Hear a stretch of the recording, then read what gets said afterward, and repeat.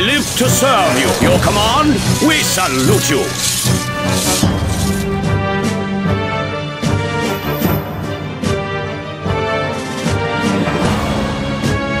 نقف على مولاي أمرك يا مولاي في خدمتكم